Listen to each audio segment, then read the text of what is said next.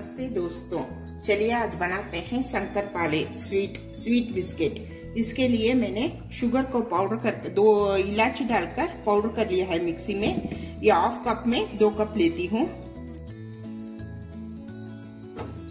और दो कप जितना घी।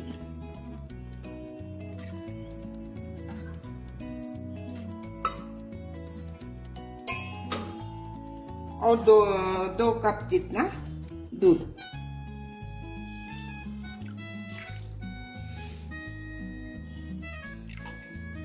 इसको सब मिक्स कर लीजिए।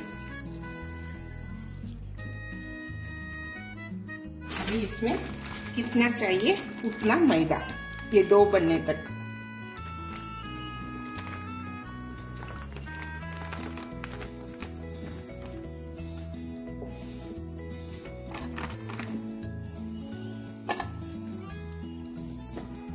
देखिए, ऐसा डो बना लीजिए।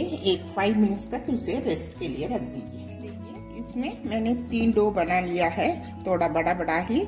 अभी इसमें मैदा थोड़ा डस्टिंग कर लेती हूँ इधर। डस्टिंग कर इसको रोल कर लेती हूँ।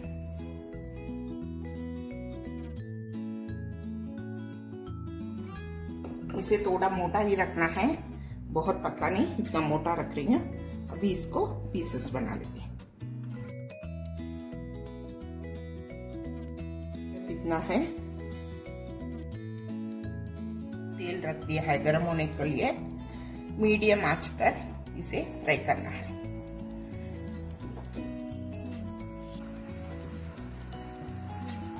गोल्डन ब्राउन हो गया, अभी निकाल देती हूँ। वाह